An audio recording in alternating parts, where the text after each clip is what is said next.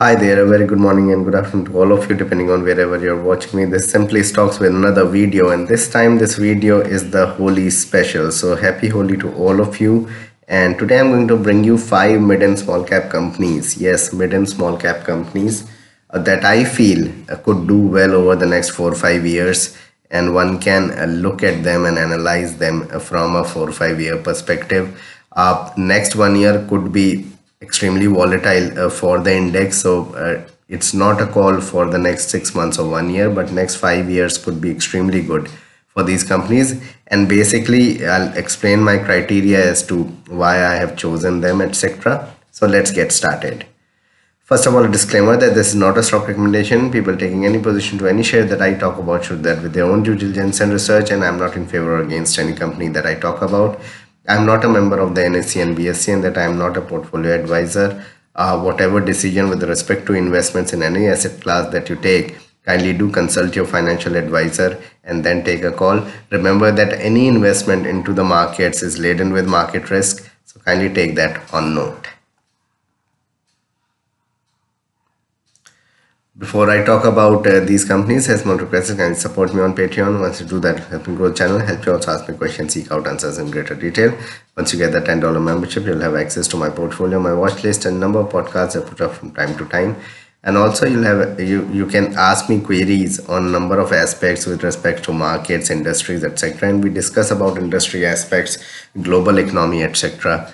on uh, on our channel on Patreon. Uh, uh, probably if you are if it is possible become a member on patreon or whatsapp uh, that will be better uh, for you over a course of time. Rather than a youtube i might just discontinue a youtube membership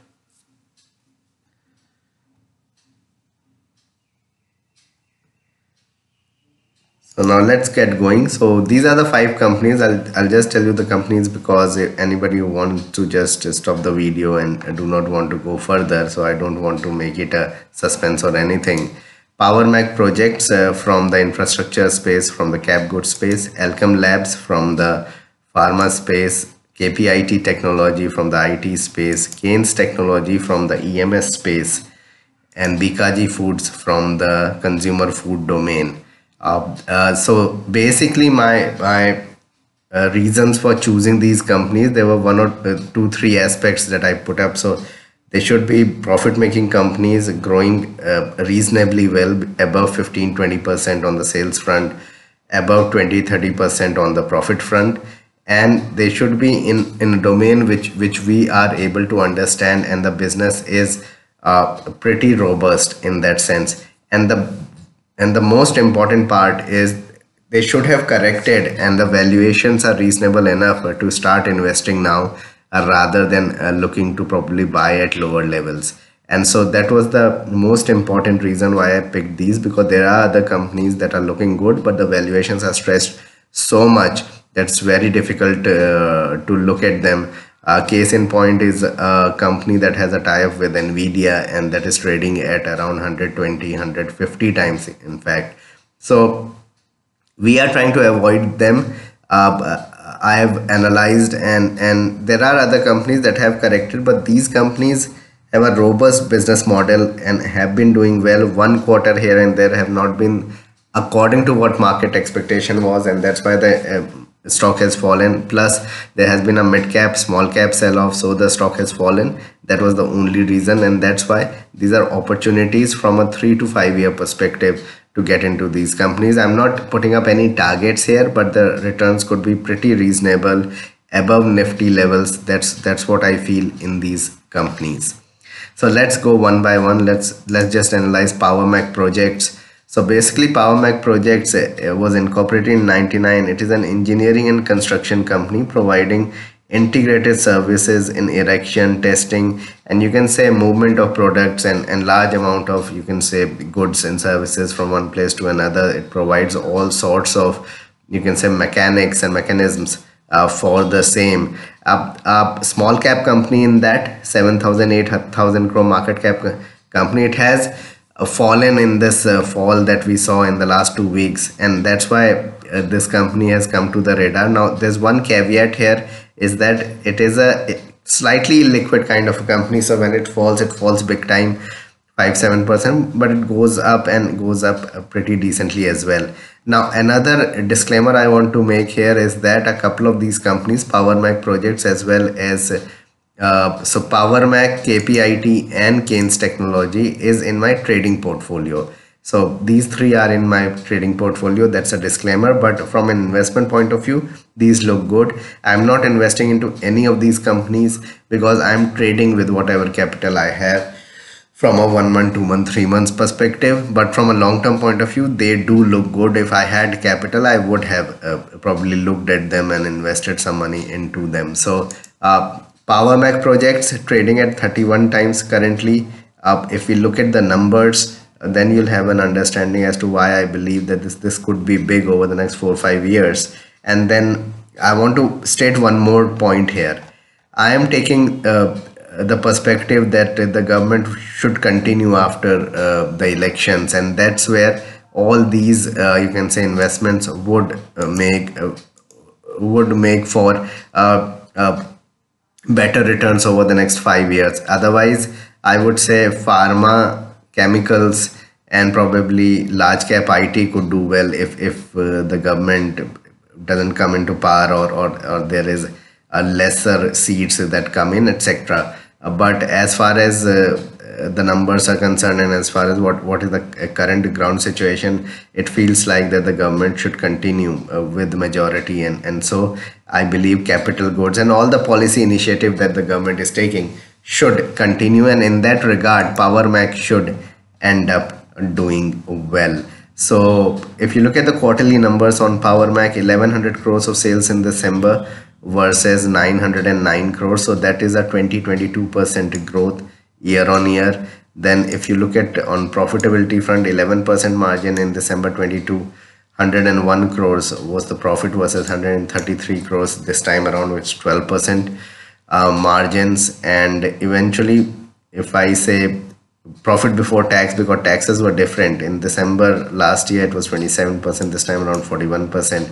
So let's take profit before tax. So it was around 69 crores this time around versus 105 crores sorry 105 crores this time around versus 69 crores that's a pretty good jump of around 50 percent on the profit front and that's why i believe that once uh, the government is formed again and there are more projects in line uh, this sort of margins and profitability should take the stock even higher and this PE of 3031 could even expand further over the next two to three years. So if, if I look at it on a PE basis also it has dropped from around 35 times uh, to around 30 31 times. And yes on a five year basis 12 times has been the PE uh, on a three year basis 20 times has been the PE uh, on an average and it is slightly stretched on that part. But industry wise whatever is happening in the industry if you look at peer comparison etc the median p is around 35 36 if you see here. So it is reasonably priced. That's what i can say. Numbers are pretty good. I believe march there should be continuity of what sort uh, the numbers have been uh, over the last three four quarters. Uh, if we go to the balance sheet again, the company has very less borrowings, good reserves on card. If you look at uh, cash conversion cycle, that's pretty stable around 90 days. And if you look at shareholding as well, you have promoter shareholding of 60%. Uh, they have 4% FII holding, 18, 18 and a half percent DII holding, and just about 16% uh, you can say public shareholding. So not huge public shareholding at the moment which is which is quite positive FIIs are in there and they have not sold much so from 5% in March of 23 they are in December of uh, sorry 23 uh, they are around 4.3% so not, not a lot of drop in fact in the last two quarters they have added so Power Mech projects is my first pick uh, from the uh, construction EPC or you can say capital goods space second stock in this list is Alkem Labs now Alkem Labs had an issue with a, a, raid, income tax raid or ED raid or something of that sort about two weeks, three weeks back, and the stock fell. But it has not gone down a lot after that. Uh, now, 57,000 crore, good mid cap company it is at a PE of 34. It has come out with very strong numbers from, it is from the pharma domain. And uh, very strong API business in the US and Europe. Uh, the company has come out with decent numbers over the last two three quarters, but the stock has fallen. So if one can probably take a call in here, is that the fact that you can probably buy in simulations of 20% on on further declines keep on adding. If you look at the numbers 3300 crores of sales in december of this year versus 3000 crores. So that's around 10% growth on the sales front.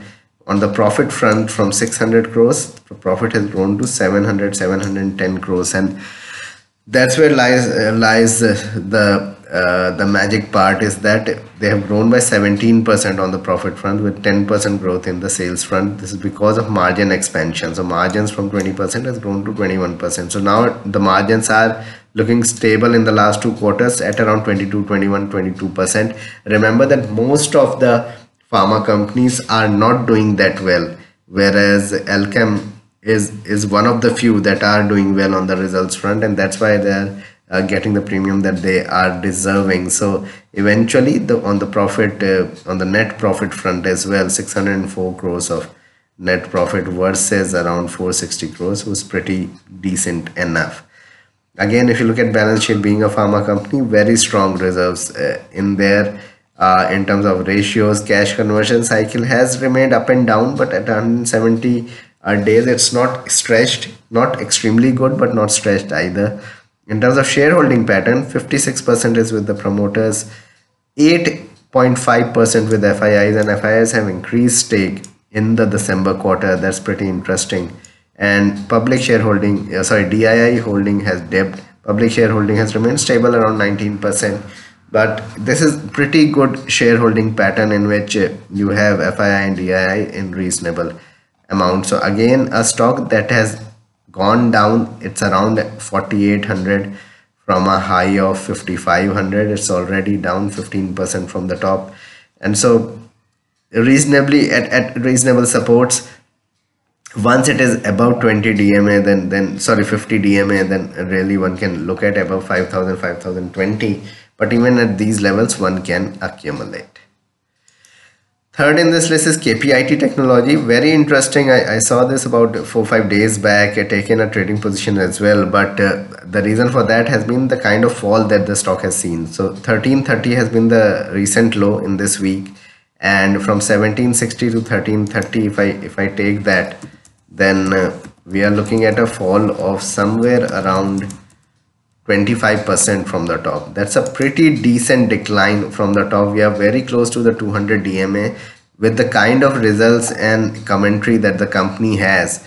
I will not be surprised in the next five years if it if it does extremely well. Now, uh, if the EV thing really you can say dies down and the sales of EV dies down, etc., it's a different thing altogether. But uh, I believe that this is only going to pick up over a five year period. Maybe a one year lull could be there, and that's why the selling is taking place.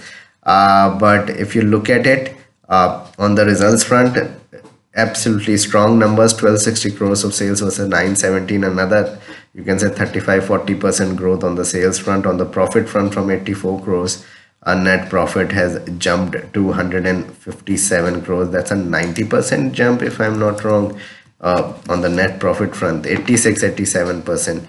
So strong very strong numbers. Yes it is trading at 70 times earnings but if i take uh, say uh, fy 24 numbers and then extrapolate it to fy 25 so let me just calculate that and then you'll be able to understand. So if i take eps and uh, if i say they'll do 5 point uh, say 6.13 or something like that in the final they'll do around 21.8 rupees of EPS.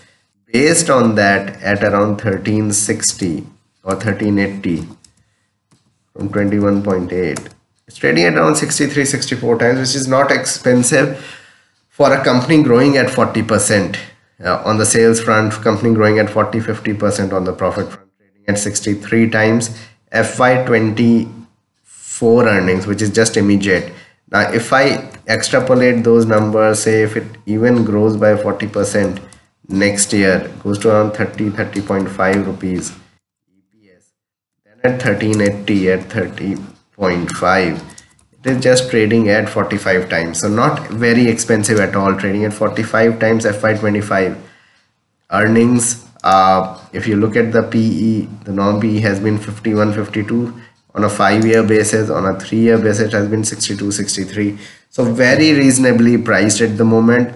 I believe that uh, most people who wanted to buy this when it was going up went to 1700 1750 um, this is the time to start accumulating. Even if it falls 5 7 percent keep on adding more. That's my understanding. Over the next five years it should give you decent returns. Third in this list is Kaynes Tech but before that let me just give you an idea of uh, the uh, shareholding pattern. So let me just go to shareholding pattern of KPIT so 39 and a half percent with the promoters which has always been low.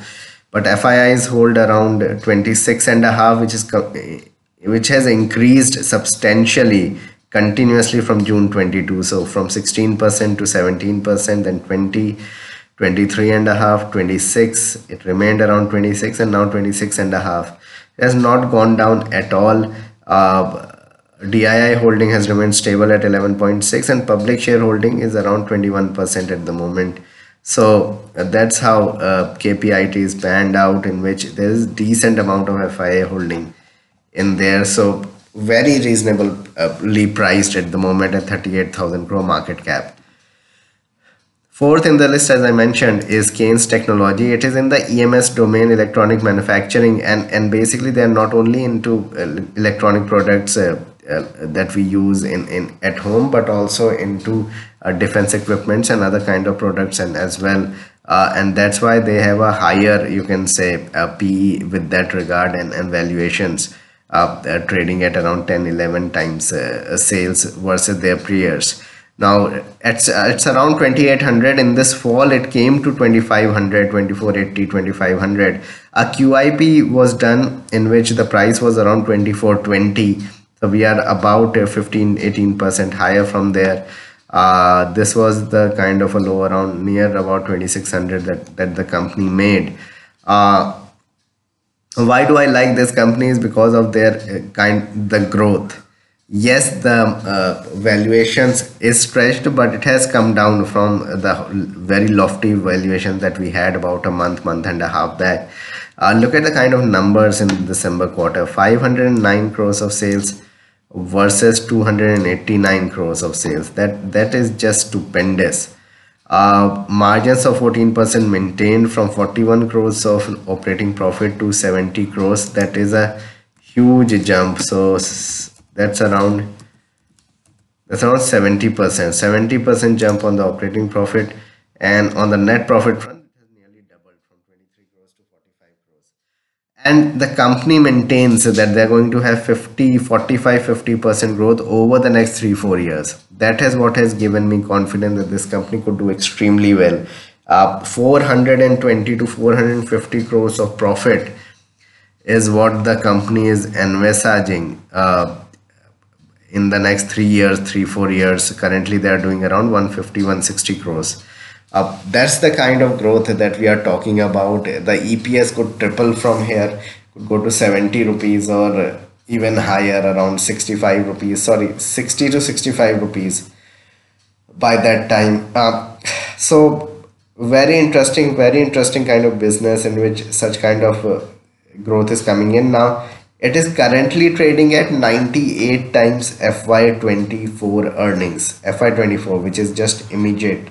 So on immediate terms, it's trading at uh, 98 times, not 125 times, 120 times, because the numbers should be pretty strong uh, for uh, the uh, last quarter. So they are going to come up with something like 28.4 rupees of EPS. So in that on that basis 98 98 and a half times and if i take a 50 percent growth on that uh, then we are looking at 42.6 rupees of eps and based on that at 2800 rupees is trading at very reasonable valuations of 65 66 times. So that's why i see massive upside but do not go all whole hog straight away into the stock. Probably buy in tranches over the next uh, few months and then eventually you'll have very good price uh, to hold for the next four five again on the balance sheet front no debt whatsoever uh, on the ratios front cash conversion cycle has increased a bit but around 160 days or so on, and on shareholding front they did a qip etc and eventually they have around 58% by themselves 12.7% is with the FIIs, 19% is with DIIs, and only 10%, 10.4% is public shareholding. Again, public shareholding is less. This is where people need to get in and, and make money because the company is growing so much. Uh, keep relevant stop losses on all your trades, whatever uh, stocks you get into, but uh, gains look good. The fifth in this list, and it's a dark horse at that, is Bikaji Foods. Uh, came out with a little bit of uh, you can say below expectation numbers in the December quarter but the stock has also declined from around 600 rupees. It has gone to 490 so it has declined by around 20 percent. Uh, another 4 5 percent fall from here say around 460 470 if you can get the stock around 460 ish like here at around 458 it was in october 23 if you can get it around there then nothing like it.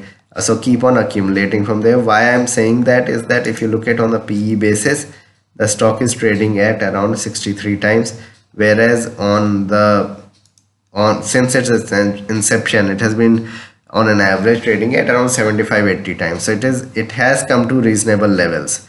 Now if you look at the uh, numbers it was not that bad. They were not that bad. So in december what they did on a consolidated front they did 625 crores of sales versus 508 which was pretty decent 20 22% sales growth year on year on the profit front uh, they did a margin of 12% versus 14% in September. That that is what spooked the uh, the market. That from 13, 14% the margins had dipped to 12%. But the management has maintained that the margins will be in the region of 12 to 15% for the foreseeable future. So it was on the lower end but not very bad so 12% margin versus 11% last year in December and eventually uh, a net profit of around 46 crores versus 40 crores or, or you can say profit before tax of 62 crores versus 52 crores which was just a 20% growth not that great. And that's why the stock fell uh, I believe that around 450 there's extreme value because the numbers should improve going forward with the kind of consumption that people have. Second thing is because of the inflation, there's a lot of pressure on their raw material cost, uh, sugar, etc., and many other factors. Uh, whatever raw material that goes into uh, making of all their bhujia and other kind of sweets and so on so forth so this is the time to really get in this is a very good company in a very difficult sectoral environment. Not that the sector is bad at all but the environment is not that conducive because of the inflationary pressure. Once this uh, reverses over the next couple of years i'm sure that cycles always reverse. So over the next five years the company should end up uh, doing well. If even if i look at from market cap to sales front it's trading at 5.6 times which is less than its five year average. And the sales should continue to grow even year on year they have been growing at 20% so in the march quarter i believe that uh, they are going to do somewhere 10% lesser than this so around 550 crores or so. So if if i take purely on the sales front then i am looking at uh, the company doing somewhere around uh, 2265 and uh, plus 25 so 2290 crores of sales this year and the company is currently uh, at a market cap of 12,200 crores and 2300 let's round everything up. So then we are talking of 5.3 times. Currently the stock is trading at 5.3 times sales.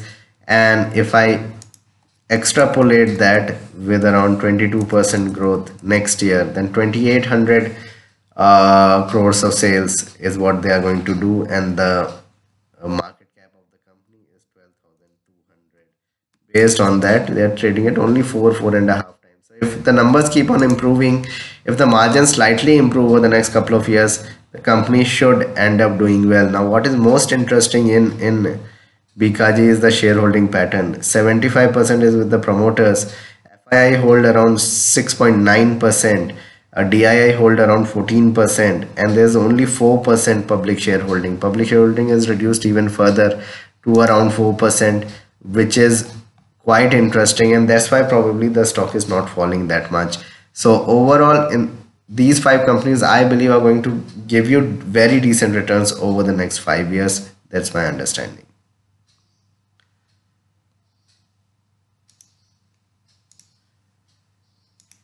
So this was a video on uh, the five companies, the Holi special. Please like and subscribe my channel, hit the bell icon so you can get my video straight away when I post it and kindly support me on Patreon. Thanks a lot for watching.